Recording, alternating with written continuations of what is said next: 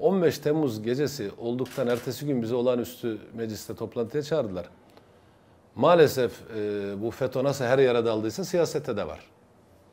O zaman da e, kimlerin olduğu bile üç aşağı beş yukarı devlet tarafından biliniyordu meclisin içinde. Tabii 16 Temmuz itibariyle herkes 16 Temmuz kahramanı oldu. Kürsüye çıkan FETÖ'ye küfür ediyor, hakaret ediyor, terör örgütü diyor falan. Ama diyenlerin bir kısmı da organizasyonda olanlardan.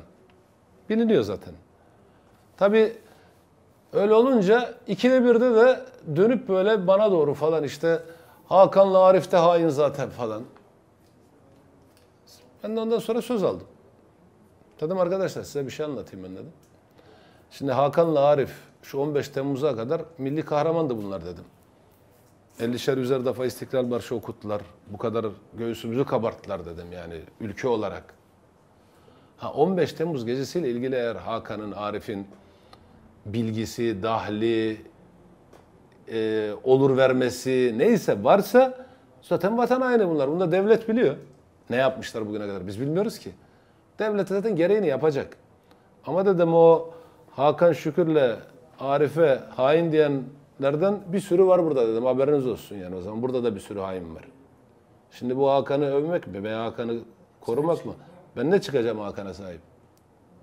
Kızıyorum Hakan'a. Arif'e de kızıyorum. Siz zaten milli kahraman olmuşsunuz. Sizin bu halk almış zaten bizi getirmiş. En tepeye koymuş. Ben 20 yıl geçmiş futbolu bıraktım. Sokakta yürüyemiyorum. Millet üstüme atlıyor, sarılıyor. Abi nasılsın, kaptan nasılsın falan diye. Sizin neye ihtiyacınız var? Yok Ali'ymiş, Veli'ymiş, FETÖ'ymüş, KETÖ'ymüş. Ben kızıyorum onlara. Ama o söylediğim konuda da oradaki bulunan FETÖ'cülere söyledim. Gelip burada yalandan gürültü yapmayın yani. Biliyoruz kim olduğunuzu. Konu oydu. Ama alıp o Papa'nın hikayesi gibi onu alıp e, Saffet Sancaklı onları savundu. Ne savunacağım? Bir sürü yanlışlar yapmışlar. Bir sürü hatalar yapmışlar. Gereksiz işler yaptılar. Onları savunacak neyini savunayım yani? Şey yapsınlar. Şimdi suçunuz yoksa gelin kardeşim Türkiye'ye. Sıkıntı büyük tabii. Gelin deyin ki ya ey büyük Türk milleti biz bir hata yaptık ya. Bu sahtekarın peşinden gittik. Bu hainin peşinden gittik. Büyük bir hata yaptık. Özür diliyoruz Türk halkından. Cezamıza da razıyız. Eğer onların bu 15 Temmuz'la ilgili bir yaptırımı yoksa ki ben tahmin etmiyorum. Olsa bugüne kadar çıkardı hani 15 Temmuz'la ilgili onların bir yardımı, yaptırımı falan bilmiyorum. Onu devlet biliyor. Bu millet size bir şekil affeder. Bir şekil bu devlet size gene belki sahip çıkabilir. Ama yani olmuş bir şeyler e yoksunuz şimdi. E millet de diyor ki vallahi o zaman yaptı bunları ne yaptıysa. Psikolojik bir şey.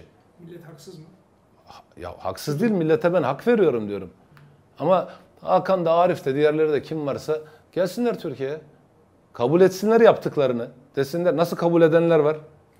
Diyor ki evet biz diyor gittik bunların peşinden ama bir baktık bunlar devleti e, bölmeye çar- kalktı. Devleti ele geçirmeye kalktı.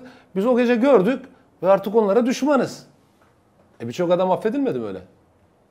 Belki bunlar da gelip böyle bir şey yaparsa faydalan. ya diyecek ki pişmanım kardeşim ben hata ettim. Hata ettiklerini de görüyorlardır şu anda.